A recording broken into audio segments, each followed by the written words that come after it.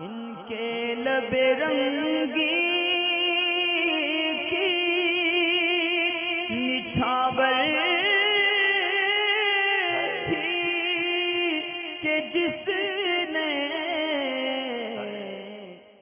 शादाब भाई हैं पटना से। औरत का औरत से कितना पर्दा है और साथ ही औरत का महरम मर्द और नामहरम से कितना पर्दा है, करना ज़रूरी है।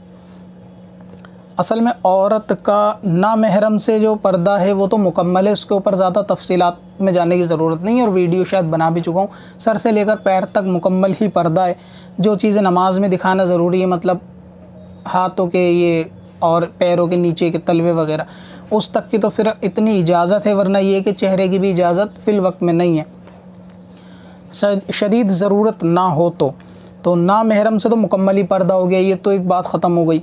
अब रहा कि औरत का औरत से आपस में कितना पर्दा है? सवाल ये ज़रूरी है। तो औरत का औरत से भी वैसे ही पर्दा है कि जैसा मर्द से पर्दा है, यानी मर्द का मर्द से। मर्द का मर्द से क्या पर्दा है? कि नाफ के नीचे से लेकर घुटनों तक का चित्र को नहीं देख सकता। यानी अगर मोटा कपड़ा, हाई लो शहवत ना हो तो वहाँ नज़र पड़ जाती है, जिसम के ऊपर ऐसी बात नहीं है। लेकिन ये कि उस हिस्से की तरफ़ जो है ना, शहवत के साथ नज़र नहीं कर सकता। यही हुक्म औरत का औरत के साथ भी है। कि औरत जो है वो नाफ के नीचे से लेकर दूसरी औरत के घुटने तक के जिसम को नहीं देख सकती। इसका मतलब ये हुआ कि इतना जिसम दूसरी औरत के सामने भी खोलना जायज़ नहीं। इसका सीधा मतलब ये बनता है। यानी इतना जिसम दूसरी औरतों के सामने खोलना भी औरत को जायज़ नहीं। यानी पेट और नाफ के नीचे, है ना? पेट वगैरह बहुत सारी खोल देती हैं, खोलती होंगी किसी ज़रूरत के तहत तो वो जायज़ नहीं। ये तो हो गया औरत का औरत। औरत का महरम से, यानी महारिम से जो पर्दा है ना कि जिनसे निकाह उनका जायज़ नहीं। मसलन घर में रहने वाले बाप, भाई, बेटे वगैरह, इनका, इनसे जो है ना औरत को क्या क्या पर्दा करना चाहिए। और ऐसे ही सवाल आता है हाफ़ बाजू को लेकर के, औरतें ना इतनी इतनी आधी आधी दिख रहा है कैमरे में इतनी इतनी जो है ना वो आस्तीन होती है कभी कभी तो अभी तो खैर इतनी हो गई है, इससे थोड़ी ऊपर चढ़ गई है। पहले इतनी हुआ करती थी 2012 तेरह के टाइम में, अब धीरे धीरे हर दो दो तीन तीन साल बाद वो घट रही है। अभी जो है ना, फ़िलहाल इतनी इतनी आस्तीन होती हैं तो घर वाले सवाल करते हैं, क्या इसको औरत का, यानी ये चीज़ जो है ना, दिखाना, बाह जो है ना, महारिम के सामने ये दुरुस्त है या नहीं? तो जो औरत का महारिम से चीज़ें का पर्दा नहीं है, वो पर्दा नहीं है, वो बात जस्ट मैं बता देता हूँ क्या क्या पर्दा नहीं है। जैसे सर के बाल हैं, कान हैं, और गला है, और सीना है तो इनका पर्दा नहीं है। इसी तरीके से बाजू है तो बाजू का भी जो है ना, वो पर्दा ज़रूरी नहीं है। यानी ये कि छुपाने वाली बाजू कहते हैं, यहाँ से इस कंधे से लेकर ये कोहनी तक। इसको बाजू बोलेंगे। और ये कोहनी से और ये जो कलाई इसमें दाखिल हो जाएगी, फिर इसको कोहनी से नीचे कलाई का हिस्सा बोलेंगे।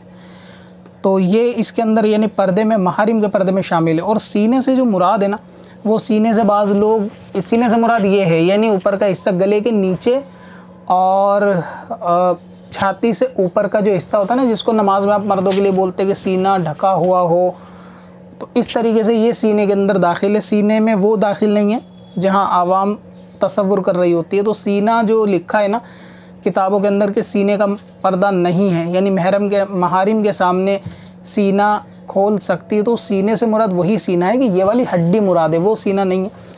वो सीना नहीं होता, असल में उसको छाती बोलते हैं तो उसके दिखाने या खोलने की इजाज़त नहीं है। लेकिन फिर भी औरत दुपट्टा अगर ढका रहे तो और ज़्यादा बेहतर है, अगर औरत परहेजगार है तो। तो इनका पर्दा नहीं है।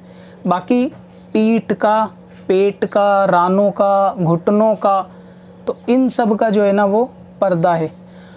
यानी महारिम से भी इन चीज़ों का पर्दा है औरत के। तो जो चीज़ें खोल सकती है वो उमूमन उर्फ़ में खुली ही होती हैं, जहाँ तक मेरे को आइडिया है कि जो चीज़ें महारिम के सामने घरों के अंदर औरतें खोल सकती हैं, वो अक्सर खुली रहती हैं। लेकिन याद करने के अतबार से आप याद रखें कि चेहरे के ऊपर वाली चीज़ों का पर्दा जो है ना महारिम से नहीं है, जिसमें कान वगैरह, बाल वगैरह और सीना वगैरह, गला हो गया, ये सब। बाकी पेट, पीठ या साइड की करवटों का भी ये पर्दा रहेगा, क्योंकि ये भी चित्र में दाखिल और घुटने, रान वगैरह और इन सब का जो है ना वो पर्दा रहेगा औरत का।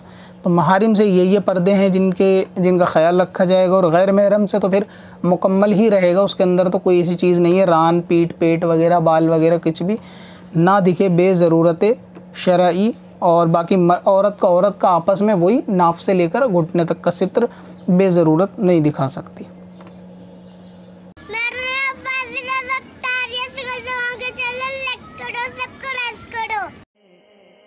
पर में हसन लाले।